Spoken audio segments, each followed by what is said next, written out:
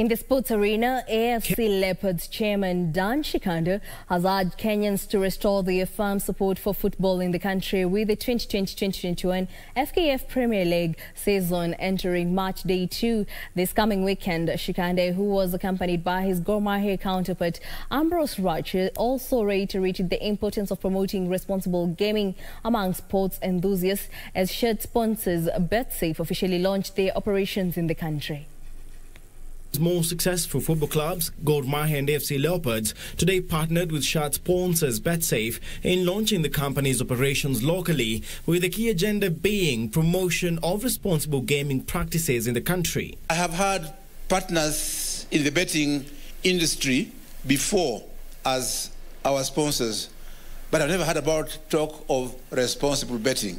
It is today that I first met somebody who says that he's a rehab expert so that if you are overbetting, he will bring you down or treat you from the disease of overbetting. What a wonderful program and very innovative program. 98% of the people actually do bet in one way or another. It's only 2% of the people who actually go overboard and uh, get uh, into betting addiction. Now, we're worried, we're concerned about the 2% who actually um, do not, like, like any, we're, worried, we're concerned about the 2% who do not look at gaming as uh, actually an entertainment, uh, uh, as entertainment and uh, look at it as a get-rich uh, scheme or hope to solve all their problems uh, using betting um, winnings.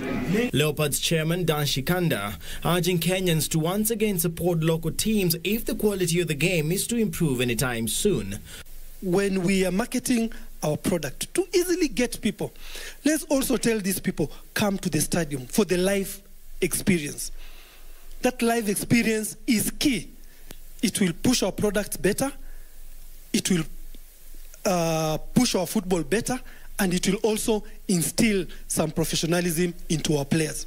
When you are playing in a full stadium, is different from when you're playing in an empty stadium. On his part, Gor Mahia's chairman Ambrose Rachier thanked corporates who have dedicated their efforts in supporting sports in the country, saying it is a step in the right direction in achieving professionalism. They have been sponsoring us, in other words, taking care of our expenses, salaries, without anything in exchange because of the fact that we have not been allowed to play, take part in contact sports until last Saturday.